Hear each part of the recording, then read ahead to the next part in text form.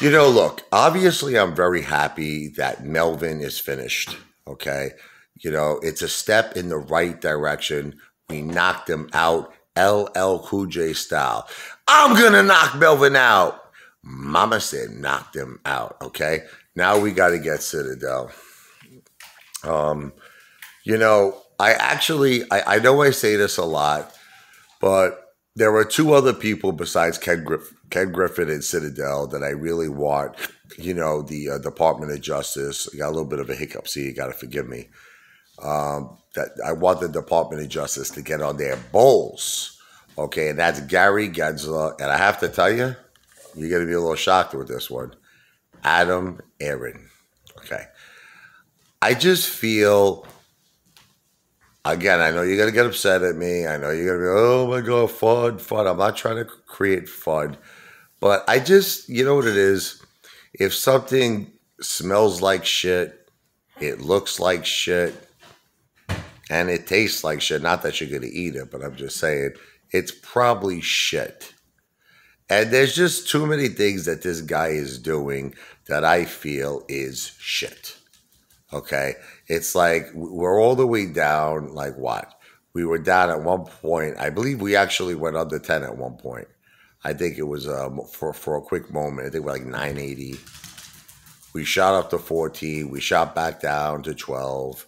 You know, this is a guy who cashed up, made $25 million for himself and his family for his retirement, sold at very high prices, sold in the 70s, sold in the 40s, sold in the 30s.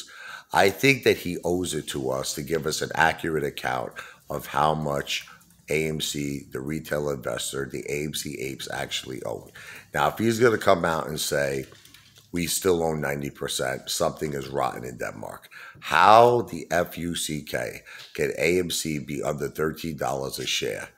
At one point below $10 a share if we own 90% of the float. So this this is what I'm trying to say. I feel like it's like a puzzle. I feel like it's all connecting the dots. You understand? You got you got to have Adam uh, Aron answer for what's going on here. You know, who does he consider retail investors that that own ninety percent? Okay, and if so, why is the price so low? Then you got to figure what's Gary Gensler doing. Okay, it you know it's like he's blindfolded, he's tied under the table he is completely ignoring all of the corruption and all of the manipulation. The transparency rule should be including synthetics. Okay. I don't give a shit about the real shares. I don't know about you. F the real shares. I want to know about the synthetics. Why are the synthetic the synthetic shares hidden? Do you realize that Ken Griffin, that Citadel Connect, does not have to disclose how many fake shares, Fugazi shares, how many promissory notes that they're using. So basically, I mean, I hate to break this to all of you, they could be using an unlimited amount. They could be using hundreds of billions of fake shares to potentially trillions of fake shares. Why are why is the SEC, FINRA, the DTCC not getting on Citadel Connect's ass and demanding them to reveal their position. How many fake synthetic shares are you using? It's just this whole thing makes me physically sick. I get very angry. I, I get angry sometimes you don't know. Like the steam comes out of my damn friggin' nose and ears. It's just I just don't understand. This is so effing unfair. It's like why did they have the right to use fake shares? Why can't we use fake shares?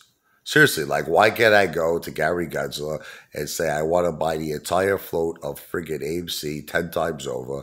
He's like, uh, "Are you good for it, Rich?" Absolutely, absolutely. You got my word of honor. And why can't I do that? Why can't anybody do it? Why can't you do that? Why is it only the hedge funds? So I just feel like right now we really need to demand answers. We need to demand answers from Adam Aron. We need to demand answers from Gary Gensler. We need to demand answers from the Department of Justice, from FINRA, from the DTCC. They got to start to let us know what is going on. Because if they come back once again, Adam uh, Aron, and he starts claiming that we own 90% of the float, something is rotten in Denmark. And I think it's time we got to get medieval on all of these uh, mother uh, asses. I don't care what it is, protesting, You know, you're all against the protest, all of you, all of you apes. Oh, it's going to delist AMC. They're going to infiltrate the event. Blah, blah, blah, blah. Listen, I just want to win. I want all of us to win. And I know everybody keeps saying that, you know, the stock, the stock market crash is going to cause the MOASS, but it hasn't happened. You know, it's supposed to be a, neg- uh, an, uh, was it the uh, negative beta stock uh, that doesn't seem like that's true because we, we seem to be going in the same direction as the stock market. The stock market goes down, we go down. Stock market goes up, we, we go down. That's not the way it's supposed to be. If the stock market goes down, AMC is supposed to be going up. So, I mean, that's just how I feel about it. We need to start figuring out some kind of a way to express our voices, to express our frustration, and to put pressure and to hold people accountable, such as Adam Aron. Do a better job. Do a share recount. Promote Top Gun. It's going to be the biggest movie probably for the whole year. Okay, why is Taiwan promoting Top Gun? Why is Applebee's promoting Top Gun? Why is our CEO Adam Aron not promoting Top Gun? He's not doing okay. He sends out a tweet. Oh, big deal! You send out a tweet. You should be offering some sort of motivation for people. You know, just promote it. You know, think think of something clever. Think of something clever. You know, like you want to hear something clever. You want to hear something clever? Get Tom Cruise to come down to to one of the AMC theaters and maybe do like a meet and greet with Tom Cruise. Just get people excited. Figure out something the way you did it with Nicole Kidman. Do it with Tom Cruise. Figure out something to create sizzle, to create stake, to create excitement. That's the Apefather's feelings on it.